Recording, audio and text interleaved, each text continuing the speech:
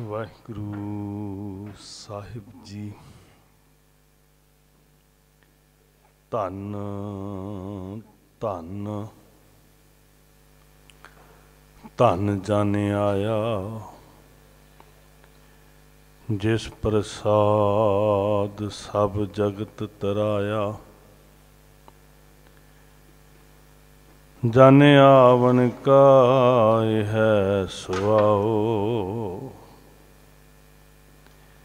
ਜਨ ਕੈ ਸੰਗ ਚਿਤ ਆਵੇ ਨਾ। ਆਪ ਮੁਕਤ ਮੁਕਤ ਕਰੇ ਸੰਸਾਰ। ਨਾਨਕ ਤਿਸ ਜਨ ਕੋ ਸਦਾ ਨਮਸਕਾਰ।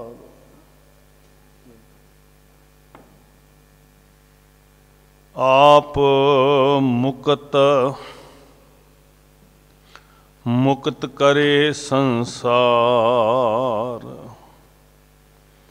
ਨਾਨਕ ਤਿਸ ਜਨ ਕੋ ਸਦਾ ਨਮਸਕਾਰ। ਗਰੀਬ ਨਿਵਾਜ਼ ਸ੍ਰੀ ਗੁਰੂ ਗ੍ਰੰਥ ਸਾਹਿਬ ਮਹਾਰਾਜ ਜੀ ਦੀ ਪਵਿੱਤਰ ਹਜ਼ੂਰੀ ਅੰਦਰ ਮਹਾਨ ਮੁਕੱਦਸ ਸਥਾਨ ਗੁਰਦੁਆਰਾ ਸ੍ਰੀ ਜੋਤੀ ਸਰੂਪ ਸਾਹਿਬ। ਧੰਨ ਬਾਬਾ ਜ਼ੋਰਾਵਰ ਸਿੰਘ ਜੀ, ਧੰਨ ਬਾਬਾ ਫਤਿਹ ਸਿੰਘ ਜੀ, ਧੰਨ ਮਾਤ ਗੁਜਰ ਕੌਰ ਜੀ ਦਾ ਸੰਸਕਾਰ ਸਥਾਨ।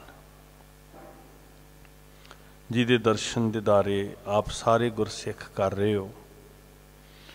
ਉਸ ਸਥਾਨ ਤੇ ਸਾਨੂੰ ਸਾਰਿਆਂ ਨੂੰ ਬੈਠ ਕੇ ਸਿੱਖ ਕੌਮ ਦੇ ਮਹਾਨ ਸ਼ਹੀਦ ਬਾਬਾ ਦੀਪ ਸਿੰਘ ਜੀ ਦੇ ਆਗਮਨ ਦਿਹਾੜੇ ਦੀਆਂ ਖੁਸ਼ੀਆਂ ਸਾਂਝੀਆਂ ਕਰਨ ਦਾ ਸੁਭਾਗ ਮਿਲਿਆ। ਬੜੀ ਸ਼ਰਧਾ ਨਾਲ, ਬੜੀ ਭਾਵਨਾ ਨਾਲ ਬਾਬਾ ਦੀਪ ਸਿੰਘ ਸੇਵਾ ਸੁਸਾਇਟੀ ਸ਼ਬਦ ਚੌਂਕੀ ਸੇਵਕ ਜਥਾ। ਸਾਰੇ ਗੁਰਸਿੱਖਾਂ ਨੇ ਇਕੱਠੇ ਹੋ ਕੇ, ਸਾਰੀ ਸੰਗਤ ਨੇ ਇਕੱਤਰ ਹੋ ਕੇ ਸਰੰਦ ਦੀ ਸੰਗਤ ਆ ਰਹੀ ਹੈ। ਗੁਰੂ ਸਾਹਿਬ ਦੀ ਕਿਰਪਾ ਦੇ ਨਾਲ ਤੋਂ ਇਹਨਾਂ ਸਾਰਿਆਂ ਨੇ ਰਲ ਕੇ ਇਹ ਸਮਾਗਮ ਉਲੀਕਿਆ। ਸਾਧ ਸੰਗਤ ਬਾਬਾ ਦੀਪ ਸਿੰਘ ਜੀ ਬੜੀ ਅਜ਼ੀਮ ਸ਼ਖਸੀਅਤ ਹਨ। ਬੜੀ ਅਦੁੱਤੀ ਕੁਰਬਾਨੀ ਹੈ ਬਾਬਾ ਦੀਪ ਸਿੰਘ ਜੀ ਦੀ। ਬੜੀ ਲਾਸਾਨੀ ਸ਼ਹਾਦਤ ਹੈ ਬਾਬਾ ਦੀਪ ਸਿੰਘ ਜੀ ਦੀ। ਵੈਸੇ ਸਿੱਖ ਇਤਿਹਾਸ ਨੂੰ ਜਦੋਂ ਅਸੀਂ ਵਾਚਦੇ ਹਾਂ, ਹਰ ਸ਼ਹਾਦਤ ਆਪਣੇ ਆਪ ਵਿੱਚ ਲਾਸਾਨੀ ਹੈ ਲਾ ਮਿਸਾਲ ਹੈ।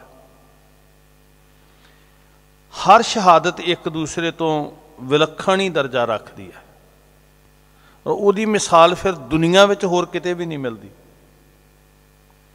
ਦੁਨੀਆ ਵਿੱਚ ਨਹੀਂ ਕੋਈ ਦਿਸਦਾ ਕਿ ਕਿਸੇ ਮਨੁੱਖ ਦੇ ਜੁੰਦੇ ਦਾ ਖੋਪੜ ਉਤਾਰ ਦਿੱਤਾ ਹੋਵੇ। ਨਹੀਂ ਦੁਨੀਆ ਵਿੱਚ ਦਿਸਦਾ ਕਿਸੇ ਦਾ ਜਿਸਮ ਦਾ ਪੋਰੀਆ ਪੋਰੀਆ ਕੱਟਿਆ ਗਿਆ ਹੋਵੇ। ਕਿਸੇ ਨੂੰ ਚਰਖੜੀ ਤੇ ਚਾੜ ਕੇ ਰੂਹ ਵਾਂਗ ਪਿੰਜ ਦਿੱਤਾ ਹੋਵੇ, ਕਿਸੇ ਨੂੰ ਜਿਉਂਦੇ ਜੀ ਦੇਗਾਂ 'ਚ ਉਬਾਲ ਦਿੱਤਾ ਗਿਆ ਹੋਵੇ, ਦੁਫਾੜ ਕਰਕੇ ਆਰੇ ਦੇ ਨਾਲ ਜਿਸਮ ਨੂੰ ਦੋ ਟੋਟਿਆਂ 'ਚ ਵੰਡ ਦਿੱਤਾ ਗਿਆ ਹੋਵੇ, ਸਭ ਕੁਝ ਹੀ ਅਲੌਕਿਕ ਹੈ। ਹਰ ਸ਼ਹਾਦਤ ਆਪਣੇ ਆਪ ਵਿੱਚ ਵਿਲੱਖਣ ਹੈ। ਸੱਚੇ ਪਾਤਸ਼ਾਹ ਮਹਾਰਾਜ ਜੀ ਨੇ ਕਿਸ ਤਰ੍ਹਾਂ ਦੀ ਘਾੜਤ ਘੜੀ ਧਰਮ ਕਮਾਉਣ ਦਾ ਕੈਸਾ ਜਜ਼ਬਾ ਦਿੱਤਾ। ਜਿੱਥੇ ਮਹਾਰਾਜ ਕਹਿੰਦੇ ਆ ਕਿ ਸਿੱਖ ਦੇ ਅੰਦਰ ਇਹ ਸਪਿਰਿਟ ਪੈਦਾ ਕੀਤੀ ਕਿ ਜ਼ਿੰਦਗੀ ਦੇ ਨਾਲੋਂ ਧਰਮ ਪਿਆਰਾ ਹੈ। ਜ਼ੁਲਮ ਦੇ ਵਿਰੁੱਧ, ਪਾਪ ਦੇ ਵਿਰੁੱਧ, ਅਤਿਆਚਾਰ ਦੇ ਵਿਰੁੱਧ ਨਾ ਇਨਸਾਫੀ ਦੇ ਵਿਰੁੱਧ, ਸਦਾ ਹੀ ਤਤਪਰ ਰਹਿਣ ਦਾ ਇੰਨਾ ਬਲ ਬਖਸ਼ਿਸ਼ ਕੀਤਾ ਮਹਾਰਾਜ ਨੇ। ਹਰ ਵੇਲੇ ਸਿੱਖ ਦੀ ਜ਼ਿੰਦਗੀ ਨੂੰ ਸੰਘਰਸ਼ ਬਣਾ ਦਿੱਤਾ। ਬਚਨ ਗੁਰੂ ਕੇ ਕੀਰਤਨੀਏ ਸੱਚਖੰਡ, ਸ਼੍ਰੀ ਹਰਮੰਦਰ ਸਾਹਿਬ ਜੀ ਦੇ ਹਜ਼ੂਰੀ ਰਾਗੀ ਸਹਿਬਾਨ ਆਪ ਜੀ ਨੇ ਸਰਵਣ ਕੀਤੇ। ਭਾਈ ਸਤਿੰਦਰਵੀਰ ਸਿੰਘ ਜੀ, ਬਹੁਤ ਪਿਆਰੇ ਬਚਨ ਪੜ ਰਹੇ ਸੀ। ਧਨ ਜੀਓ, ਤਿਹ ਕੋ ਜਗ ਮੈਂ ਮੁਖ ਤੇ ਹਰ। ਚਿੱਤ ਮੈਂ ਯੁੱਧ ਵਿਚਾਰੋ। ਆ ਸੀ ਗੁਰਤੀ ਜਿਹੜੀ ਸਾਹਿਬ ਨੇ ਦਿੱਤੀ ਸੀ। ਸਿੱਖ ਦੀ ਰਸਨਾ ਉੱਤੇ ਵਾਹਿਗੁਰੂ ਹੋਵੇ ਤੇ ਹਿਰਦੇ ਅੰਦਰ ਸੰਘਰਸ਼ ਹੋਵੇ, ਜੂਝਣ ਦੀ ਸਮਰੱਥਾ ਹੋਵੇ, ਸ਼ਕਤੀ ਹੋਵੇ। ਇੱਕ ਸਪਿਰਿਟ ਦਿੱਤੀ ਮਹਾਰਾਜ ਨੇ। ਉਹ ਸਪਿਰਿਟ ਬਾਬਾ ਦੀਪ ਸਿੰਘ ਜੀ ਦੇ ਅੰਦਰ ਨਿਰੰਤਰ ਚੱਲਦੀ ਹੈ। ਇਹੀ ਦਾਤ ਉਹਨਾਂ ਨੇ ਝੋਲੀ ਅੱਡ ਕੇ ਧੰਨ ਗੁਰੂ ਗੋਬਿੰਦ ਸਿੰਘ ਜੀ ਮਹਾਰਾਜ ਕੋਲੋਂ ਮੰਗੀ ਸੀ, ਜਬ ਆਵ ਕੀ ਔਦ ਨਿਦਾਨ ਬਣੈ, ਅਤ ਹੀ ਰਣ ਮੈਂ ਤਬ ਜੂਝ ਮਰੋ। ਇਹ ਦਾਤ ਮੰਗੀ ਸੀ ਉਹਨਾਂ ਨੇ, ਧੰਨ ਗੁਰੂ ਗੋਬਿੰਦ ਸਿੰਘ ਸੱਚੇ ਪਾਤਸ਼ਾਹ ਜੀ ਦੇ ਕੋਲ। ਵੇਖੋ, ਮਰੋ ਸ਼ਬਦ ਤੇ ਸਾਰੀ ਦੁਨੀਆ ਨੂੰ ਪਤਾ ਹੈ ਤੇ ਸਾਰੀ ਦੁਨੀਆ ਉੱਤੇ ਵਿਆਪਣਾ ਹੈ। ਪਰ ਵਿਲੱਖਣ ਗੱਲ ਕੀ ਹੈ ਵੀ ਬਾਬਾ ਦੀਪ ਸਿੰਘ ਜੀ ਮੰਗ, ਮੰਗਦੇ ਆ ਵੀ ਜੂਝ ਮਰੋ। ਇਹ ਦੋਨਾਂ ਚ ਅੰਤਰ ਹੈ। ਮਰੋਂ ਵਿੱਚ ਤੇ ਜੂਝ ਮਰੋ ਵਿੱਚ ਅੰਤਰ ਹੈ। ਜ਼ਰੂਰੀ ਨਹੀਂ ਕਿ ਸਾਰੇ ਸਿੱਖਾਂ ਨੇ ਸ਼ਸਤਰ ਫੜ ਕੇ ਹੀ ਮਰਨਾ ਹੈ। ਸ਼ਸਤਰਾਂ ਤੋਂ ਵੀ ਵੱਖਰੀ ਗੱਲ ਹੈ, ਜੂਝ ਮਰੋਂ ਦੀ ਗੱਲ ਜਿਹੜੀ ਹੈ। ਕੱਲਾ ਹਥਿਆਰਾਂ ਨਾਲ ਹੀ ਨਹੀਂ ਜੂਝਿਆ ਜਾਂਦਾ, ਵਿਚਾਰਾਂ ਨਾਲ ਵੀ ਜੂਝਿਆ ਜਾਂਦਾ ਸਾਧ ਸੰਗਤ। ਪਰ ਜੂਝ ਦਾ ਉਹੀ ਹੈ, ਜਿਹਦੇ ਸਾਹਿਬ ਕਹਿੰਦੇ, ਮੁਖ ਤੇ ਹਰ ਚਿੱਤ ਮੈਂ ਯੁੱਧ ਵਿਚਾਰੋ। ਉਹਦੇ ਅੰਦਰ ਹੀ ਜੂਝਣ ਦੀ ਸਮਰੱਥਾ ਹੁੰਦੀ ਹੈ। ਜੂਝਣ ਦਾ ਮਤਲਬ ਹੈ ਸੰਘਰਸ਼ੀਲ ਹੋਣਾ। ਜੂਝਣ ਦਾ ਅਰਥ ਹੈ ਅਗਾਹਾਂ ਕੂ ਤਰਾਂਗ, ਪਿੱਛੇ ਫੇਰ ਨਾ ਮੋਢੜਾ ਜਦੋਂ ਇਹ ਸਮਰੱਥਾ ਅੰਦਰ ਆਉਂਦੀ ਹੈ, ਜਦੋਂ ਇਹ ਬਲ ਅੰਦਰ ਵਰਤਦਾ ਤੇ ਸਿੱਖ ਫਿਰ ਡਿੱਗ ਕੇ ਨਹੀਂ ਮਰਦਾ। ਅੰਤ ਤੇ ਸਾਰਿਆਂ ਦਾ ਹੁੰਦਾ ਉਹ ਅੰਤਲੇ ਸਾਹ ਤੱਕ ਜੂਝਦਾ ਹੈ। ਚਲੇ ਤੇ ਸਾਰਿਆਂ ਨੇ ਜਾਣਾ ਪਰ ਉਹ ਡਿੱਗ ਕੇ ਨਹੀਂ, ਕਾਇਰਾ ਵਾਂਗ, ਬੁਜਦਲਾ ਵਾਂਗ ਮਾਨਸਿਕਤਾ ਨੂੰ ਢੈਂਦੀ ਕਲਾ ਵਿੱਚ ਲਿਜਾ ਕੇ ਨਹੀਂ ਜਾਂਦਾ, ਆਖਰੇ ਸਾਹ ਤੱਕ ਦਸਮ ਪਾਤਸ਼ਾਹ ਮਹਾਰਾਜ ਦਾਤ ਦਿੰਦੇ ਆ, ਅਤ ਹੀ ਰਣ ਮੈਂ, ਤਬ ਜੂਝ ਮਰੂ, ਮੁਖ ਤੇ ਹਰ ਚਿੱਤ ਮੈਂ ਯੁੱਧ ਵਿਚਾਰੋ। ਜਦੋਂ ਅਸੀਂ ਬਾਬਾ ਦੀਪ ਸਿੰਘ ਜੀ ਦਾ ਜੀਵਨ ਵੇਖਦੇ ਹਾਂ, ਦੋ ਗੁਣ ਬਾਬਾ ਦੀਪ ਸਿੰਘ ਜੀ ਦੀ ਸ਼ਖਸੀਅਤ ਦੇ ਪਿੱਛੇ ਬਹੁਤ ਵੱਡੇ ਆ। ਵੇਖੋ, ਸ਼ਖਸੀਅਤ ਤੇ ਉਹ ਵਾਕਈ ਵਿਲੱਖਣ ਨੇ। ਸਾਰਾ ਸਿੱਖ ਇਤਿਹਾਸ ਹੀ ਬੜਾ ਲਸਾਨੀ, ਅਜ਼ੀਮ ਹੈ। ਪਰ ਬਾਬਾ ਦੀਪ ਸਿੰਘ ਜੀ ਦਾ ਨਾਮ ਲਿਆ ਵਾਕਿਆ ਸ਼ਰਧਾ ਨਾਲ ਸਿਰ ਝੁਕਦਾ ਦੋ ਗੁਣ ਗੁਰਸਿੱਖੋ ਜਿਹੜੇ ਜਿਹੜੇ ਅਸੀਂ ਗ੍ਰਹਿਣ ਕਰਨੇ ਆ। ਅਰਥ ਇਹ ਨਹੀਂ ਹੈ ਕਿ ਅਸੀਂ ਇਹ ਚਰਚਾ ਕਰੀਏ ਵੀ 300 ਸਾਲ ਪਹਿਲਾਂ ਆ ਸ਼ਹੀਦ ਹੋਏ 400 ਸਾਲ ਪਹਿਲਾਂ ਐਸੇ ਗੁਰਸਿੱਖ ਹੋਏ 500 ਸਾਲ ਪਹਿਲਾਂ ਐਸੇ ਭਗਤ ਹੋਏ ਤੇ ਉਹਦਾ ਕੰਪੈਰੀਜ਼ਨ ਇਹ ਵੀ ਵੇਖੀਏ ਵੀ ਅੱਜ ਕੀ ਹੋਏ। ਤੇ ਫਿਰ ਕੀ ਕਵਾਂਗੇ ਵੀ ਉਦੋਂ ਹੋਏ ਸੀ ਤੇ ਬਾਅਦ ਵਿੱਚ ਦਰਵਾਜ਼ੇ ਬੰਦ ਕਰ ਦਿੱਤੇ ਵਾਹਿਗੁਰੂ ਨੇ। ਸਾਧ ਸੰਗਤ ਜੀ, ਦੇਸ਼ ਵਿਦੇਸ਼ ਵਿੱਚ ਸਿੱਖ ਸੁਣ ਰਹੇ ਨੇ। ਸਾਡੇ ਕੋਲ ਸੁਵਿਧਾ ਗੁਰੂ ਸਾਹਿਬ ਨੇ ਸੇਵਾ ਇਹਨਾਂ ਵੀਰਾਂ ਦੀ ਝੋਲੀ ਚ ਪਕਾਈ ਅਕਾਲ ਚੈਨਲ ਗਰਭ ਚੈਨਲ ਗਰਭ ਪੰਜਾਬ।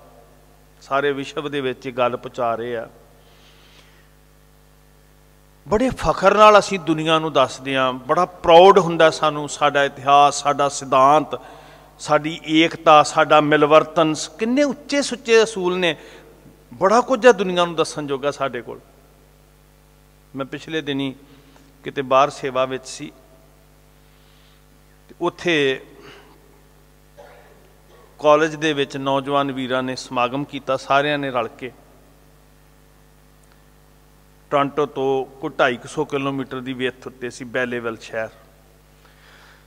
ਤੇ ਉਹਨਾਂ ਨੇ ਨੌਜਵਾਨਾਂ ਨਾਲ ਸਿੱਖ ਨੌਜਵਾਨ ਬਹੁਤ ਗਏ ਨੇ ਬਾਹਰ ਪੜਨ ਵਾਸਤੇ ਤੇ ਇੱਕ ਉਦਮ ਕੀਤਾ ਵੀ ਚਲੋ ਤਾਲਮੇਲ ਹੋ ਜਾਏ, ਉਥੋਂ ਦੇ ਪੁਲਿਸ ਚੀਫ ਨੂੰ ਬੁਲਾਇਆ।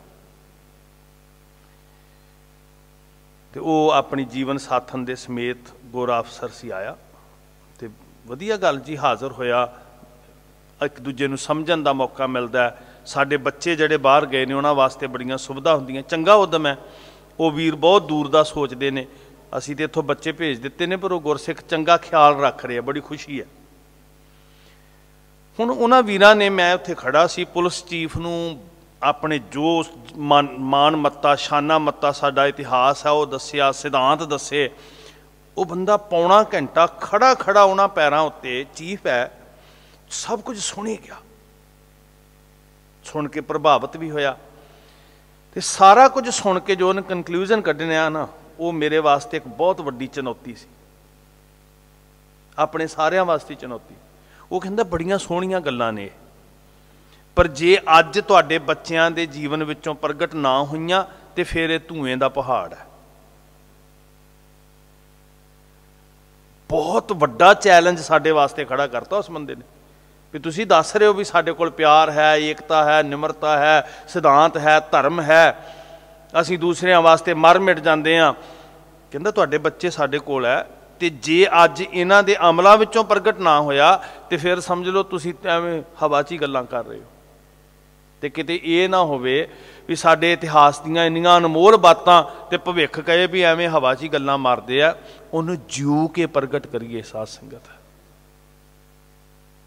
ਤੇ ਸਭ ਤੋਂ ਵੱਡੀ ਜਿਹੜੀ ਸਾਡੇ ਲਈ ਚੁਣੌਤੀ ਹੈ, ਉਹ ਦੋ ਗੱਲਾਂ ਬਾਬਾ ਦੀਪ ਸਿੰਘ ਜੀ ਦੇ ਜੀਵਨ ਦੀ ਬੁਨਿਆਦ ਵਿੱਚ ਜਿਹੜੀਆਂ ਸਭ ਤੋਂ ਵੱਡੀਆਂ ਨੇ, ਅਹਿਮ ਨੇ। ਮੈਂ ਤੁਹਾਨੂੰ ਹੱਥ ਜੋੜ ਕੇ ਬੇਨਤੀ ਕਰਦਾ ਸਾਰਿਆਂ ਨੂੰ। ਇੱਕ ਹੈ ਆਹਾਰ ਤੇ ਇੱਕ ਹੈ ਵਿਚਾਰ। ਇਹਨੂੰ ਸਮਝ ਲਿਓ ਚੰਗੀ ਤਰ੍ਹਾਂ। ਆਹਾਰ ਪਿਤਾ ਕਮਾ ਰਿਹਾ ਤੇ ਵਿਚਾਰ ਮਾਂ ਦੇ ਰਹੀ ਹੈ। ਬਾਬਾ ਦੀਪ ਸਿੰਘ ਜੀ ਦੀ ਸ਼ਖਸੀਅਤ ਦੀ ਬੁਨਿਆਦ ਕੀ ਹੈ? ਫਿਰ ਗੁਰੂ ਪਿਆਰ ਪੈਦਾ ਹੁੰਦਾ ਪਹਿਲਾਂ ਦੋ ਗੱਲਾਂ ਨੇ। ਇੱਕ ਆਹਾਰ, ਇੱਕ ਵਿਚਾਰ ਤੇ ਫਿਰ ਉਹਦੇ ਵਿੱਚੋਂ ਗੁਰੂ ਪਿਆਰ ਪੈਦਾ ਹੁੰਦਾ ਜਿਸ ਪਿਆਰ ਦਾ ਸਦਕਾ ਅੱਜ ਉਹਨਾਂ ਦੀ ਝੋਲੀ 'ਚ ਸਤਕਾਰ ਫਿਰ ਪਿਆ। ਇਹ ਸਤਕਾਰ ਤਾਂ ਕਿਵੇਂ ਨਹੀਂ ਪਹੁੰਚੇ। ਇਹ ਤੇ ਬੂਟੇ ਨੂੰ ਲੱਗਿਆ ਫਲ ਹੈ। ਉਹਦੇ ਤੋਂ ਪਹਿਲਾਂ ਬੂਟਾ ਕੀ ਕੀ ਚੱਲ ਰਿਹਾ ਆਪਣੇ ਤਨ ਦੇ ਉੱਤੇ? ਅੰਕੁਰ ਕਿਵੇਂ ਫੁੱਟ ਰਹੇ ਆ? ਬੀਜ ਕਿਵੇਂ ਮਿੱਟੀ 'ਚ ਦਫਨ ਹੋਇਆ? ਆਪਣੇ ਆਪ ਨੂੰ ਮਿਟਾਉਂਦਾ ਅਸੀਂ ਤੇ ਕੇਵਲ ਫਲ ਦੀ ਗੱਲ ਕਰਦੇ ਆ ਪ੍ਰੋਸੈਸ ਬਾਰੇ ਤੇ ਸੋਚਿਆ ਵੀ ਨਹੀਂ।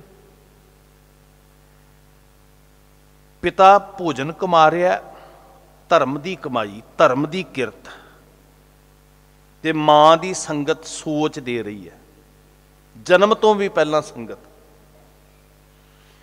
ਔਰ ਖਾਸ ਕਰਕੇ ਜਦੋਂ ਤੁਸੀਂ ਬਾਬਾ ਦੀਪ ਸਿੰਘ ਜੀ ਦਾ ਇਤਿਹਾਸ ਪੜੋਗੇ ਤੁਹਾਡਾ ਸਿਰ ਝੁਕੇਗਾ ਵੀ ਮਾਂ ਜਿਉਣੀ ਦੀ ਬਹੁਤ ਵੱਡੀ ਕਾਲਣਾ ਹੈ, ਬਹੁਤ ਵੱਡੀ ਕਾਲਣਾ ਜਿੰਨੀ ਮਹਾਨ ਕੌਮ ਦੀ ਮਾਨਮਤੀ ਸਖੀਅਤ ਬਾਬਾ ਦੀਪ ਸਿੰਘ ਨੇ, ਉਹਦੇ ਪਿੱਛੇ ਮਾਂ ਜਿਉਣੀ ਜੀ ਦੀ ਬਹੁਤ ਵੱਡੀ ਕਮਾਈ ਹੈ ਪਿਤਾ ਦੀ ਸੱਚੀ ਸੁੱਚੀ ਨਿਰਮਲ ਧਰਮ ਦੀ ਕਿਰਤ ਜਿਹੜੀ ਚੋਗਾ ਬਣ ਕੇ ਇਸ ਬਾਲ ਦੇ ਮੁਖ ਵਿੱਚ ਪੈ ਰਹੀ ਹੈ ਤੇ ਮਾਂ ਦੀ ਸੰਗਤ, ਮਾਂ ਦੀ ਸੋਚ, ਮਾਂ ਦੀ ਵਿਚਾਰ ਜਿਹੜੀ ਜਨਮ ਤੋਂ ਵੀ ਪਹਿਲਾਂ ਸ਼ੁਰੂ ਹੋ ਗਈ ਸੀ, ਆਹਾਰ ਨੇ ਤੇ ਵਿਚਾਰ ਨੇ ਇਦਾਂ ਦੀ ਸ਼ਖਸੀਅਤ ਕੌਮ ਨੂੰ ਦਿੱਤੀ ਜਿਹਦੇ ਲਈ ਅੱਜ ਸਤਕਾਰ ਅਸੀਂ ਲੈ ਕੇ ਬੈਠੇ ਹੋਏ ਆ ਇਹ ਦੋ ਫਰਜ਼ ਅਸੀਂ ਵੀ ਪਹਿਚਾਣੀਏ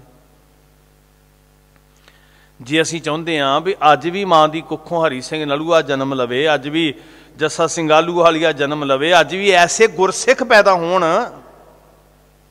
ਬਾਬਾ ਦੀਪ ਸਿੰਘ ਜੀ, ਗੁਰੂ ਗੋਬਿੰਦ ਸਿੰਘ ਜੀ ਦੇ ਚਰਨਾਂ ਦੇ ਭਵਰੇ ਨੇ। ਗੁਰੂ ਗੋਬਿੰਦ ਸਿੰਘ ਜੀ ਮਹਾਰਾਜ ਦੇ ਚਰਨਾਂ ਦੇ ਮੰਗਤੇ ਨੇ, ਜਾਚਕ ਨੇ ਬਾਬਾ ਦੀਪ ਸਿੰਘ ਜੀ। ਪਰ ਬੁਨਿਆਦ ਕੀ ਹੈ?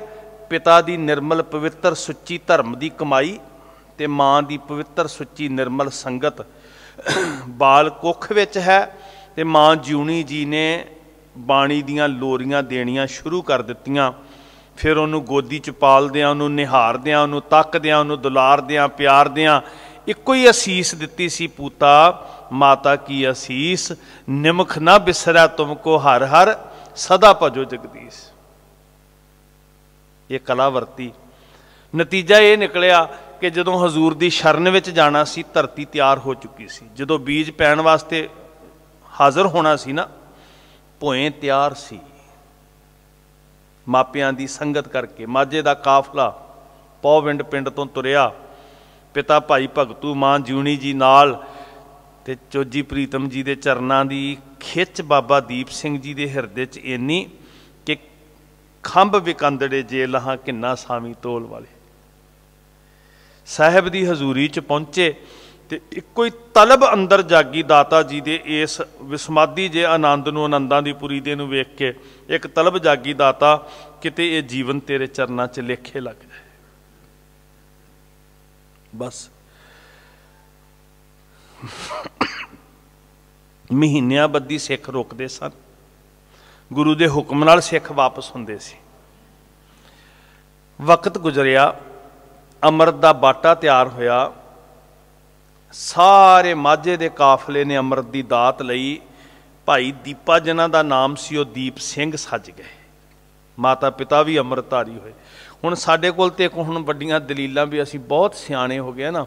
ਅਸੀਂ ਬਾਬਾ ਦੀਪ ਸਿੰਘ ਜੀ ਵਰਗੇ ਸਿੱਖਾਂ ਤੋਂ ਤੇ ਗੁਰੂ ਸਾਹਿਬ ਤੋਂ ਵੀ ਸਿਆਣੇ ਆ ਵੀ ਜੀ ਸਾਡਾ ਤੇ ਮਨ ਹੀ ਸਾਫ਼ ਹੈ, ਸਾਡੇ ਦੇ ਅੰਦਰ ਹੀ ਅੰਮ੍ਰਿਤ ਹੈ। ਆ ਵੀ ਪ੍ਰੇਰਣਾ ਲੈ ਲਈਏ।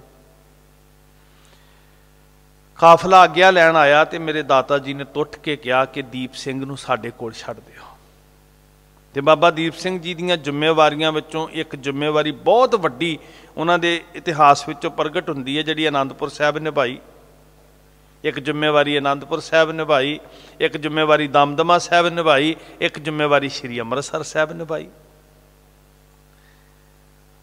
ਆਨੰਦਪੁਰ ਸਾਹਿਬ ਦੀ ਜ਼ਿੰਮੇਵਾਰੀ ਜਿਹੜੀ ਸੀ, ਉਹ ਬੜੀ ਵਿਚਿੱਤਰ ਹੈ ਸਾਧ ਸੰਗਤ। ਇਹ ਤਿੰਨੋਂ ਬੜੀਆਂ ਵੱਖਰੀਆਂ ਵੱਖਰੀਆਂ ਨੇ ਨਾ, ਕਮਾਲ ਦੀਆਂ।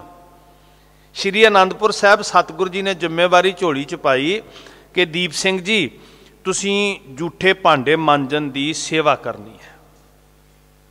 ਦਮਦਮਾ ਸਾਹਿਬ ਸਤਿਗੁਰੂ ਜੀ ਨੇ ਝੋਲੀ 'ਚ ਸੇਵਾ ਪਾਈ ਕਿ ਤੁਸੀਂ ਕਲਮ ਫੜਨੀ ਹੈ ਤੇ ਧੰਨ ਸ਼੍ਰੀ ਗੁਰੂ ਗ੍ਰੰਥ ਸਾਹਿਬ ਮਹਾਰਾਜ ਦੇ ਉਤਾਰੇ ਕਰਨੇ ਨੇ। ਤੇ ਸ਼੍ਰੀ ਅੰਮ੍ਰਿਤਸਰ ਸਾਹਿਬ ਜਿਹੜੀ ਸੇਵਾ ਕਮਾਈ ਜਿਨ੍ਹਾਂ ਹੱਥਾਂ 'ਚ ਕਦੀ ਝੂਠੇ ਭਾਂਡੇ ਆਏ ਸਨ, ਜਿਨ੍ਹਾਂ ਹੱਥਾਂ 'ਚ ਕਦੀ ਕਲਮ ਆਈ ਸੀ, ਫਿਰ ਉਹਨਾਂ ਹੱਥਾਂ 'ਚ 18 ਸਿਰ ਦਾ ਖੰਡਾ ਆਇਆ ਤੇ ਦੁਸ਼ਮਣ ਦੇ ਆਹੂ ਲਾਉਣ ਲੱਗ ਪਏ।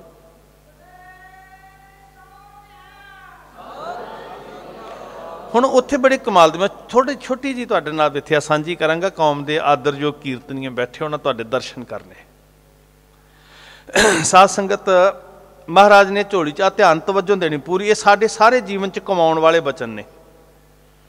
ਹਜ਼ੂਰ ਨੇ ਕਿਹਾ, ਦੀਪ ਸਿੰਘ ਜੀ, ਤੁਸੀਂ ਬਰਤਨ ਮਾਂਜਨੇ ਆ। ਤੇ ਬਾਬਾ ਦੀਪ ਸਿੰਘ ਜੀ ਬਹੁਤ ਸ਼ਿੱਦਤ ਦੇ ਨਾਲ, ਬੜੇ ਚਾਹ ਨਾਲ, ਬੜੀ ਅੰਦਰ ਦੀ ਰੀਜ਼ ਦੇ ਨਾਲ ਚਿੱਤ ਕਰਕੇ ਸੇਵਾ ਚ ਲੱਗੇ। ਕਿਉਂਕਿ ਵੇਖੋ, ਮਹਾਰਾਜ ਨੇ ਬਚਨ ਕਿਹਾ ਬੱਦਾ ਚੱਟੀ ਜੋ ਭਰੈ ਨਾ ਗੁਣ, ਨਾ ਉਪਕਾਰ। ਮਜਬੂਰੀ ਵਿੱਚ ਨਹੀਂ ਚਾਉ ਵਿੱਚ ਲੱਗਿਆ ਸੇਵਾ ਕਮਾ ਰਹੇ ਆ ਤੇ ਆਖਰ ਇੱਕ ਦਿਨ ਸੇਵਾ ਨੂੰ ਫਲ ਲੱਗਣਾ ਸੀ। ਬੜੇ ਪਿਆਰੇ ਜੇ ਬਚਨ ਨੇ। ਸਹਿਬ ਕਲਗੀਧਰ ਪਿਤਾ ਜਾ ਕੇ ਪੁੱਛਦੇ ਆ ਦੀਪ ਸਿੰਘ, ਬੜੀ ਸ਼ਿੱਦਤ ਨਾਲ, ਬੜੀ ਰੀਝ ਨਾਲ, ਬੜਾ ਮਨ ਲਾ ਕੇ ਤੁਸੀਂ ਬਰਤਨ ਮਾਂਜਦੇ ਹੋ। ਹੈ ਨਾ, ਵੇਖੋ, ਇਹ ਸੱਚ ਪੁੱਛੋ ਤੇ ਇੱਕ ਥਰਮਾਮੀਟਰ ਸੀ ਬਾਬਾ ਦੀਪ ਸਿੰਘ ਜੀ ਨੂੰ ਪਰਖਣ ਦਾ। ਸਾਨੂੰ ਕੋਈ ਕਹੇ ਨਾ ਵੀ ਭਾਈ ਸਾਹਿਬ ਜੀ ਬੜੀ ਵਧੀਆ ਕਥਾ ਕਰਦੇ ਹੋ ਤੇ ਬਸ ਫਿਰ ਫੁੱਲ ਕੇ ਅਸੀਂ ਚੌੜੇ ਹੋ ਜਾਂਦੇ ਆ ਵੀ ਤੁਸੀਂ ਬੜਾ ਵਧੀਆ ਕੰਮ ਕੀਤਾ ਜੀ, ਬਸ ਇਹੀ ਸੁਣਨ ਦੀ ਭੁੱਖ ਹੁੰਦੀ ਹੈ। ਪਰ ਬਾਬਾ ਦੀਪ ਸਿੰਘ ਜੀ ਨੇ ਜਦੋਂ ਇਹ ਗੱਲ ਸੁਣੀ ਨਾ ਸਾਹਿਬ ਦੇ ਮੁਖੋਂ ਵੀ ਤੁਸੀਂ ਬੜੇ ਵਧੀਆ ਭਾਂਡੇ ਮਾਂਜਦੇ ਹੋ। ਤੇ ਬਾਬਾ ਦੀਪ ਸਿੰਘ ਜੀ ਨੇ ਜਿਹੜਾ ਜਵਾਬ ਦਿੱਤਾ ਨਾ, ਉਹਨੂੰ ਸਮਝਿਓ ਚੰਗੀ ਤਰ੍ਹਾਂ। ਜੋ ਉਹਨਾਂ ਦੇ ਜੀਵਨ ਚੋਂ ਪ੍ਰਗਟ ਹੁੰਦਾ ਕਹਿਣ ਲੱਗੇ, ਨਹੀਂ ਪਾਤਸ਼ਾਹ, ਮੈਂ ਭਾਂਡੇ ਨਹੀਂ ਮਾਂਜਦਾ, ਭਾਂਡੇ ਮੈਨੂੰ ਮਾਂਜਦੇ ਨੇ। ਆਹ ਹੈ ਫ਼ਰਕ ਸਾਧ ਸੰਗਤ। ਮੈਂ ਨਹੀਂ ਇਹਸਾਨ ਕਰ ਰਿਹਾ। ਇਹ ਸੇਵਾ ਮੇਰੇ ਤੇ ਇਹਸਾਨ ਕਰ ਰਹੀ ਹੈ ਤਾਂ ਕਿ ਮੈਂ ਸੁੱਧ ਹੋ ਜਾਵਾਂ। ਮੈਂ ਨਹੀਂ ਇਹਨਾਂ ਨੂੰ ਸੁੱਧ ਕਰ ਰਿਹਾ, ਇਹ ਮੈਨੂੰ ਸੁੱਧ ਕਰ ਰਹੇ ਨੇ।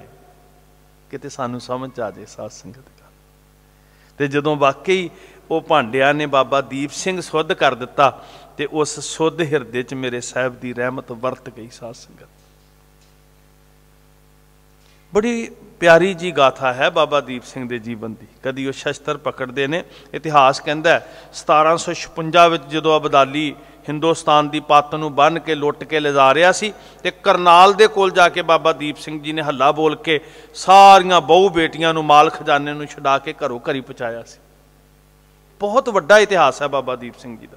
ਇਸ ਸਥਾਨ ਤੇ ਜਦੋਂ ਆ ਕੇ ਵਜੀਦੇ ਨੂੰ ਸੋਧਿਆ, ਸਿੱਖ ਰਾਜ ਸਥਾਪਿਤ ਕੀਤਾ ਤੇ ਇਸ ਜੰਗ ਵਿੱਚ ਬਾਬਾ ਦੀਪ ਸਿੰਘ ਜੀ, ਬਾਬਾ ਬੰਦਾ ਸਿੰਘ ਬਹਾਦਰ ਦੇ ਨਾਲ, ਮੋਢੇ ਨਾਲ ਮੋਢਾ ਲਾ ਕੇ ਜੁੜੇ, ਲੜੇ ਇੱਥੇ ਜੁੜ, ਆ ਕੇ ਜੂਝੇ ਨੇ ਸਾਧ ਸੰਗਤ। ਬਾਬਾ ਦੀਪ ਸਿੰਘ ਜੀ ਪਹਾੜੀ ਰਾਜਿਆਂ ਨੂੰ ਸਬਕ ਸਿਖਾਇਆ, ਸ਼੍ਰੀ ਅਨੰਦਪੁਰ ਸਾਹਿਬ ਵਿੱਚ ਦੀਵਾਨ ਸੱਜੇ 1704 ਤੋਂ ਬਾਅਦ ਜਦੋਂ ਪਹਿਲੀ ਵਾਰ ਧੰਨ ਕਲਗੀਧਰ ਪਾਤਸ਼ਾਹ ਮਹਾਰਾਜ ਦੇ ਅਨੰਦਪੁਰ ਸਾਹਿਬ ਛੱਡਣ ਤੋਂ ਬਾਅਦ ਆ ਸਾਰੇ ਕੌਤਕ ਜਿੱਥੇ ਅਸੀਂ ਬੈਠੇ ਆ ਇਹ ਵਰਤਨ ਤੋਂ ਬਾਅਦ, ਜਦੋਂ ਫੇਰ ਪਹਿਲੀ ਵਾਰ ਸਿੱਖਾਂ ਨੇ ਜਾ ਕੇ ਕੇਸਰੀ ਪਰਚਮ ਚਲਾ ਕੇ, ਨਿਸ਼ਾਨ ਚਲਾ ਕੇ ਦੀਵਾਨ ਸਜਾਇਆ ਪੰਥ ਇਕੱਠਾ ਹੋਇਆ, ਫਿਰ ਸ੍ਰੀ ਅਨੰਦਪੁਰ ਸਾਹਿਬ, ਸ੍ਰੀ ਗੁਰੂ ਗ੍ਰੰਥ ਸਾਹਿਬ ਮਹਾਰਾਜ ਦੀ ਤਾਬਿਆ ਵਿੱਚ। ਤੇ ਉੱਥੇ ਪੰਥ ਨੇ ਬਾਬਾ ਦੀਪ ਸਿੰਘ ਜੀ ਨੂੰ ਇੱਕ ਖਿਤਾਬ ਦਿੱਤਾ, ਸਾਡਾ ਇਤਿਹਾਸ ਗਵਾਹੀ ਭਰਦਾ ਹੈ। ਪਹਿਲੀ ਵਾਰ ਸਿੱਖ ਇਤਿਹਾਸ ਵਿੱਚ ਬਾਬਾ ਦੀਪ ਸਿੰਘ ਜੀ ਨੂੰ ਇਹ ਖਿਤਾਬ ਮਿਲਿਆ, ਜਿੰਦਾ ਸ਼ਹੀਦ ਦਾ ਖਿਤਾਬ। ਬਾਬਾ ਦੀਪ, ਉੱਥੇ ਮਿਸਲਾਂ ਦਾ ਜਦੋਂ ਆਰੰਭ ਹੋਇਆ, ਦੋ ਪਹਿਲਾਂ ਦਲ ਬਣੇ ਤਰਨਾ ਦਲ ਤੇ ਬੁੱਢਾ ਦਲ ਆਲੂ ਵਾਲੀਆ ਜੀ ਦੀ ਕਮਾਂਡ ਹੇਠ। ਤਰਨਾ ਦਲ ਦੇ ਮੁਖੀ ਬਾਬਾ ਦੀਪ ਸਿੰਘ ਜੀ ਨੂੰ ਬਣਾਇਆ ਗਿਆ ਤੇ ਫਿਰ ਇਹਨਾਂ ਦੀ ਜਿਹੜੀ ਮਿਸਲ ਸੀ, ਇਹਨਾਂ ਦੇ ਖਿਤਾਬ ਕਰਕੇ ਉਸ ਮਿਸਲ ਦਾ ਨਾਮ ਵੀ ਸ਼ਹੀਦਾਂ ਵਾਲੀ ਮਿਸਲ ਰੱਖਿਆ ਗਿਆ।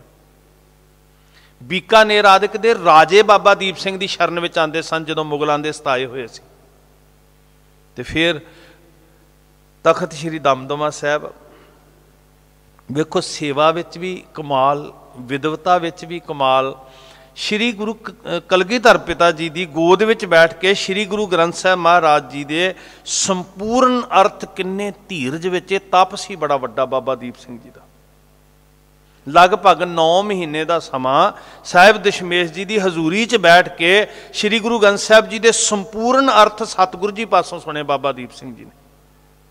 ਤੇ ਮੇਰੇ ਸਾਹਿਬ ਨੇ ਫਿਰ ਵਰ ਵੀ ਦਿੱਤੇ, ਬਖਸ਼ਿਸ਼ ਵੀ ਕੀਤੀ ਸੀ ਵੀ ਇਹ ਬੰਧਨਾਂ ਤੋਂ ਮੁਕਤ ਹੋ ਕੇ ਜਿਹੜੇ ਬਾਣੀ ਦੇ ਅਰਥ ਸੁਣਨ ਵਾਲੇ ਆ। ਤੁਸੀਂ ਵੀ ਸੁਣਿਆ ਕਰੋ ਭਾਗਾਂ ਵਾਲਿਓ। ਜਿਹੜੇ ਬਾਣੀ ਦੇ ਵਿਚਾਰ ਸੁਣਨ ਵਾਲੇ ਨੇ ਬੰਧਨਾਂ ਤੋਂ ਇਹ ਵਰ ਦਿੱਤੇ ਸੀ ਮਹਾਰਾਜ ਨੇ। ਗੁਰੂ ਸਾਹਿਬ ਜੀ ਦੱਖਣ ਨੂੰ ਚੱਲੇ, ਭਾਈ ਮਨੀ ਸਿੰਘ ਜੀ ਦਿੱਲੀ ਨੂੰ ਤੋਰ ਦਿੱਤੇ ਸਤਿਗੁਰੂ ਜੀ ਨੇ ਮਤਾਵਾਂ ਦੇ ਨਾਲ। ਹਜ਼ੂਰ ਦੱਖਣ ਨੂੰ ਚੱਲੇ ਤੇ ਦਮਦਮਾ ਸਾਹਿਬ ਦੀ ਸੇਵਾ ਬਾਬਾ ਦੀਪ ਸਿੰਘ ਜੀ ਦੀ ਝੋਲੀ 'ਚ ਪਾ ਦਿੱਤੀ। ਹੁਣ ਤੁਹਾਡੇ ਵਿੱਚੋਂ ਜਿਨ੍ਹਾਂ ਨੇ ਕਦੀ ਬੀਕਾਨੇਰ ਦੇ ਇਲਾਕੇ 'ਚ ਵਿਜ਼ਿਟ ਕੀਤਾ ਨਾ, ਉਹਨਾਂ ਨੂੰ ਪਤਾ ਹੋਏਗਾ, ਸੂਰਤਗੜ੍ਹ ਬੀਕਾਨੇਰ ਦਾ ਇਲਾਕਾ। ਉੱਥੇ ਲਗਭਗ ਮੋਸਟਲੀ 90% ਘਰਾਂ ਦੇ ਅੰਦਰ ਬੇਸਮੈਂਟ ਜ਼ਰੂਰ, ਮਤਲਬ ਅੰਡਰਗਰਾਉਂਡ ਕਮਰੇ ਜ਼ਰੂਰ ਬਣੇ ਹੁੰਦੇ ਆ, ਇੱਕ ਜਾਂ ਦੋ ਕਮਰੇ। ਬੜੇ ਸੋਹਣੇ ਜਿਹੇ ਡਰਾਇੰਗ ਰੂਮ ਵਰਗੇ। ਉਹਦਾ ਇੱਕ ਕਾਰਨ ਹੈ ਕਿ ਰੇਤਲੇ ਇਲਾਕੇ ਵਿੱਚ ਗਰਮੀ ਦੀ ਰੁੱਤੇ ਉਹਦੇ ਅੰਦਰ ਫਿਰ ਉਹ ਦੁਪਹਿਰ ਕੱਟਦੇ ਹਰ ਘਰ ਵਿੱਚ ਆ ਜਿਹੜਾ ਦਮਦਮਾ ਸਾਹਿਬ ਦਾ ਇਲਾਕਾ ਸੀ, ਇਹ ਵੀ ਖੁਸ਼ਕ ਇਲਾਕਾ, ਰੇਤ, ਅੱਜ ਵੀ ਉੱਥੇ ਰੇਤਾ ਉੱਡਦਾ ਪੂਰਾ। ਬਾਬਾ ਦੀਪ ਸਿੰਘ ਜੀ ਨੇ ਹੇਠਾਂ ਬੇਸਮੈਂਟ ਵਿੱਚ ਉਦਾਂ ਦਾ ਇੱਕ ਜਿਹਨੂੰ ਅਸੀਂ ਬੇਸਮੈਂਟ ਦਾ ਕਮਰਾ ਕਹਿ ਸਕਦੇ ਹਾਂ ਜਾਂ ਭੋਰਾ ਕਹਿ ਸਕਦੇ ਹਾਂ, ਜਿੱਥੇ ਬੁਰਜ ਬਣਾਇਆ, ਜੰਗੀ ਕਿਲੇ ਦਾ ਪ੍ਰਤੀਕ ਹੈ ਬੁਰਜ। ਹੁਣ ਭਗਤੀ ਤੇ ਸ਼ਕਤੀ ਦਾ ਸੁਮੇਲ ਆ ਉੱਥੇ।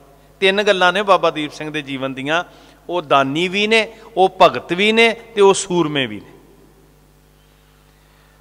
ਪਰ ਉਪਕਾਰੀ ਇਦਾਂ ਦੇ ਨੇ ਕਿ ਉਹਨਾਂ ਨੇ ਖੂਹ ਲਗਵਾਇਆ ਬਾਬਾ ਦੀਪ ਸਿੰਘ ਜੀ ਨੇ। ਤੇ ਵੀਰ ਭੁਪਿੰਦਰ ਸਿੰਘ ਬੈਠੇ, ਇਹਨਾਂ ਨੂੰ ਪਤਾ, ਮੈਂ ਵੀ 7-8 ਸਾਲ ਉੱਥੇ ਰਿਹਾ, ਉੱਥੋਂ ਹੀ ਵਿੱਦਿਆ ਲਈ। ਸਾਰੇ ਤਲਵੰਡੀ ਦੇ ਲੋਕ 7 ਸਾਲ ਮੈਂ ਆਪਣੇ ਅੱਖੀਂ ਵੇਖਦਾ ਰਿਹਾ ਪਤਾ ਨਹੀਂ ਪਹਿਲੇ ਕਦੋਂ ਕੋ ਤੋਂ ਕਿ ਸਾਰੇ ਨਗਰ ਦਾ ਪਾਣੀ ਖਾਰਾ ਸੀ, ਪਰ ਜਿਹੜਾ ਖੂਹ ਬਾਬਾ ਦੀਪ ਸਿੰਘ ਜੀ ਨੇ ਲਗਵਾਇਆ, ਉਸ ਖੂਹ ਦਾ ਜਲ ਮਿੱਠਾ। ਤੇ ਲੋਕ ਰੇੜਿਆਂ ਦੇ ਉੱਤੇ, ਗੱਡਿਆਂ ਦੇ ਉੱਤੇ ਨਾ ਡਰਮ ਭਰ ਭਰ ਕੇ ਪਾਣੀ ਘਰਾਂ 'ਚ ਸਵੇਰੇ ਲੈਣ ਆ ਜਾਂਦੇ ਸੀ। ਪਰ ਉਪਕਾਰੀ ਬਾਬਾ ਦੀਪ ਸਿੰਘ ਜੀ ਨੇ ਜੇ ਪਾਣੀ ਵੱਲ ਵੀ ਦ੍ਰਿਸ਼ਟੀ ਪਾਈ ਤੇ ਵੇਖੋ ਗੁਰੂ ਦੇ ਸਿੱਖ ਦੀ ਦ੍ਰਿਸ਼ਟੀ ਵਿੱਚ ਵੀ ਕਿੰਨਾ ਅੰਮ੍ਰਿਤ ਰਸ ਹੋਏਗਾ, ਉਹ ਪਾਣੀ ਵੀ ਮਿੱਠਾ ਹੋ ਗਿਆ। ਕਿੰਨੀ ਬੰਦਗੀ ਹੋਏਗੀ, ਕਿੰਨੀ ਕਮਾਈ ਹੋਏਗੀ। ਭਗਤ ਐਸੇ ਕਿ ਉਹਨਾਂ ਦੇ ਬੜਾ ਸੰਜਮੀ ਜਿਹਾ ਜੀਵਨ, ਛੋਲਿਆਂ ਦੀ ਮੁੱਠ, ਉਹਦੇ ਵਿੱਚ ਨਾ ਬਰਤਨ ਬਣਿਆ ਹੋਇਆ। ਤੁਸੀਂ ਹੇਠਾਂ ਉਤਰੋਗੇ ਬੇਸਮੈਂਟ ਵਾਲੇ ਕਮਰੇ 'ਚ। ਤੇ ਉਹ ਬਰਤਨ ਇੱਕ 'ਚ ਪਾਣੀ ਹੁੰਦਾ ਸੀ, ਇੱਕ ਦੇ ਵਿੱਚ, ਉਹ ਕੰਧ ਦੇ ਵਿੱਚ ਹੀ ਬਣੇ ਹੋਏ ਆ, ਅੰਦਰ ਹੀ ਬੇਸਮੈਂਟ 'ਚ ਠੰਡੇ ਰਹਿੰਦੇ ਸੀ, ਇੱਕ 'ਚ ਛੋਲੇ ਹੁੰਦੇ ਸੀ। ਛੋਲਿਆਂ ਦੀ ਮੁੱਠ ਖਾ ਕੇ, ਪਾਣੀ ਦਾ ਘੁੱਟ ਪੀ ਕੇ ਬਾਬਾ ਦੀਪ ਸਿੰਘ ਜੀ ਨੇ ਸ਼ੁਕਰ ਕਰਨਾ। ਤੇ ਉੱਥੇ ਹੀ ਉਹਨਾਂ ਨੀਹਾਂ ਉੱਤੇ ਬਣਿਆ ਹੋਇਆ ਬੁਰਜ, ਉਹ ਜੰਗੀ ਜਿਹੜੇ ਕਿਲੇ ਦੀ ਪ੍ਰਤੀਕ ਹੈ, ਉਹ ਸੂਰਮੇ ਨੇ, ਉਹ ਭਗਤੀ ਵੀ ਕਰਦੇ ਨੇ ਤੇ ਉਹ ਪਰਉਪਕਾਰ ਵੀ ਕਰਦੇ ਆ। ਤੇ ਉਹਨਾਂ ਨੂੰ ਖਬਰ ਮਿਲਦੀ ਹੈ ਹਰਮੰਦਰ ਸਾਹਿਬ ਦੀ ਬੇਹਰਮਤੀ ਦੀ। ਫਿਰ ਬਾਬਾ ਦੀਪ ਸਿੰਘ ਜੀ ਕੂਚ ਕਰਦੇ ਆ। ਵੇਖੋ ਕੈਸਾ ਜਲਾਲ ਹੈ, ਅਤ ਹੀ ਰਨ ਮੈਂ ਤਬ ਜੂਝ ਮਰ। ਮੇਰੇ ਸਾਹਿਬ ਨੇ ਕਿਹਾ ਸੀ, ਜਬ ਲਗ ਖਾਲਸਾ, ਜਬ ਲਗ ਖਾਲਸਾ ਰਹਿ ਨਿਆਰਾ, ਤਬ ਲਗ ਤੇਜ਼ ਦਿਓ ਮੈਂ ਸਾਰਾ। ਇੰਨਾ ਜਲਾਲ ਹੈ ਬਾਬਾ ਦੀਪ ਸਿੰਘ ਜੀ ਦੇ ਮੁਖੜੇ ਉੱਤੇ 70 80 ਵਰਿਆਂ ਦੀ ਉਮਰ ਦੇ ਅੰਦਰ ਤਜਸਵੀ ਜਲਾਲ ਨਹੀਂ ਝੱਲਿਆ ਜਾਂਦਾ। 18 ਸਿਰ ਦਾ ਖੰਡਾ ਪਕੜ ਕੇ ਅਰਦਾਸਾ ਸੋਧਦੇ ਆ। ਤੇ ਉਸ ਅਰਦਾਸੇ 'ਚ ਇੰਨੀ ਸਤਿਆ ਇੰਨਾ ਆਤਮ ਵਿਸ਼ਵਾਸ ਹੈ, ਜੂਝ ਮਰੋਂ ਦੀ ਐਸੀ ਪ੍ਰਤੀਗਿਆ ਕਿ ਆਪਣੇ ਮਕਸਦ ਦੀ ਪੂਰਤੀ ਵਾਸਤੇ ਦੁਸ਼ਮਣ ਤੇ ਕੀ ਮੌਤ ਦੇ ਨਾਲ ਟਕਰਾ ਜਾਂਦੇ ਆ ਜੀ। ਮੌਤ ਨਾਲ ਟਕਰਾ ਜਾਂਦੇ ਆ। ਅੱਖਾਂ ਚੱਖਾਂ ਪਾ ਕੇ ਮੌਤ ਕੰਬ ਜਾਂਦੀ ਹੈ। ਜਿੰਨੀ ਦੇਰ ਧੰਨ ਗੁਰੂ ਰਾਮਦਾਸ ਜੀ ਦੇ ਚਰਨਾਂ ਤੱਕ ਸੀਸ ਨਹੀਂ ਭੇਟ ਕਰਦੇ, ਜਿੰਨੀ ਦੇਰ ਆਪਣੇ ਮਕਸਦ ਦੀ ਪੂਰਤੀ ਨਹੀਂ ਕਰਦੇ ਬਾਬਾ ਦੀਪ ਸਿੰਘ। ਜਹਾਨ ਖਾਨ ਦੇ ਕਹਿਰ ਨੂੰ ਠੱਲ ਪਾ ਦਿੱਤੀ। ਵੈਰੀ ਦਲ ਨੂੰ ਭਾਜਣਾ ਪੈ ਗਈਆਂ। ਸਿਰ ਧਰ ਤਲੀ ਗਲੀ ਮੇਰੀ ਆਓ ਦਾ ਪ੍ਰਣ ਪਾਲਣ ਵਾਲੇ ਬਾਬਾ ਦੀਪ ਸਿੰਘ ਜੀ ਜੂਝੇ ਐਸਾ, ਐਸੀ ਦਾਤ ਮੰਗੀ ਸੀ ਗੁਰੂ ਸਾਹਿਬ ਦੇ ਚਰਨਾਂ ਚੋਂ, ਆਤੀ ਹੀ ਰਣ ਮੈਂ ਤਬ ਜੂਝ ਮਰੋਂ। ਤੇ ਜੂਝ ਮਰੋਂ ਦੀ ਬਖਸ਼ਿਸ਼ ਜੋ ਬਾਬਾ ਦੀਪ ਸਿੰਘ ਤੇ ਹੋਈ, ਉਹਦੀ ਮਿਸਾਲ ਦੁਨੀਆ 'ਚ ਕਿਤੇ ਨਹੀਂ ਲੱਭਦੀ। ਸੋ ਉਹ ਲਾਸਾਨੀ ਯੋਧਿਆਂ ਦੀਆਂ ਯਾਦਾਂ ਸਿਰਫ ਇਤਿਹਾਸ ਦੇ ਪੰਨੇ ਬਣ ਕੇ ਨਾ ਰਹਿ ਜਾਣ, ਬਲਕਿ ਸਾਡੇ ਘਰਾਂ ਦੇ ਅੰਦਰ ਇੱਕ ਬਦਲਾਅ ਪੈਦਾ ਕਰ ਦੇਣ। ਉਹ ਗੁਣ ਅੱਜ ਸਾਡੀ ਸੰਤਾਨ ਵਿੱਚੋਂ ਦਿਸਣ। ਅਸੀਂ ਮਾਤਾ ਜਿਉਣੀ ਜੀ ਕੋਲੋਂ ਸਿੱਖੀਏ, ਅਸੀਂ ਪਿਤਾ ਭਾਈ ਭਗਤੂ ਜੀ ਕੋਲੋਂ ਸਿੱਖੀਏ, ਫਰਜ਼ ਨਿਭਾਉਣੇ ਤਾਂ ਕਿ ਭਵਿੱਖ ਵਿੱਚ ਫਿਰ ਕੌਮ ਦੇ ਅੰਦਰ ਇਦਾਂ ਦੇ ਯੋਧੇ ਤੇ ਸੂਰਮੇ ਜਨਮ ਲੈਣ, ਜਿਹੜੇ ਜ਼ੁਲਮ ਦੇ ਨਾਲ ਹਿੱਕ ਤਾਣ ਕੇ ਟੱਕਰ ਲੈ ਸਕਣ। ਵਾਹਿਗੁਰੂ ਬਖਸ਼ਿਸ਼ ਕਰਨ, ਇਹ ਸੇਵਾਵਾਂ ਨੂੰ ਫਲ ਲਾਉਣ, ਬੜੀ ਰੀਝ ਨਾਲ, ਸ਼ਰਧਾ ਨਾਲ, ਹਰ ਵਰੇ ਸਾਰੇ ਗੁਰਸਿੱਖ ਰਲ ਕੇ ਤੁਸੀਂ ਸੇਵਾ ਕਰਦੇ ਹੋ। ਸ਼੍ਰੋਮਣੀ ਗੁਰਦੁਆਰਾ ਪ੍ਰਬੰਧਕ ਕਮੇਟੀ ਨੇ ਸੰਪੂਰਨ ਸਹਿਯੋਗ ਦਿੱਤਾ ਗੁਰੂ ਘਰ ਦੇ ਮੈਨੇਜਰ ਸਹਿਬਾਨ ਗੁਰਦੁਆਰਾ ਜੋਤੀ ਸੂਪ ਸਾਹਿਬ ਦੇ ਭਾਈ ਬਲਵਿੰਦਰ ਸਿੰਘ ਜੀ ਭਮਾਰਸੀ ਫਤਿਹਗੜ੍ਹ ਸਾਹਿਬ ਦੇ ਸਾਰੀ ਪ੍ਰਬੰਧਕ ਸੰਸਥਾ। ਸੋ ਇਹ ਕੌਮ ਦੀ ਸੰਸਥਾ ਹੈ ਆਓ ਸਾਰੇ ਰਲ ਕੇ ਇਦਾਂ ਹੀ ਗੁਰੂ ਦੀਆਂ ਬਾਤਾਂ ਸਾਂਝੀਆਂ ਕਰਦੇ ਰਹੀਏ ਤਾਂ ਕਿ ਸਾਡੇ ਨੌਜਵਾਨਾਂ ਦੇ ਅੰਦਰ ਚੰਗੇ ਗੁਣਾਂ ਦਾ ਸੰਚਾਰ ਹੋ ਸਕੇ। ਅਸੀਂ ਉੱਚਾ ਸੁੱਚਾ ਜੀਵਨ ਆਪਣਾ ਬਣਾ ਸਕੀਏ। ਭੁੱਲਾਂ ਬਖਸ਼ੋ ਅਸੀਸ ਦਿਓ ਪਿਆਰ ਵਿੱਚ ਜੁੜ ਕੇ ਆਖੋ ਜੀ ਵਾਹਿਗੁਰੂ ਵਾਹਿਗੁਰੂ ਜੀ ਕਾ ਖਾਲਸਾ। ਵਾਹਿ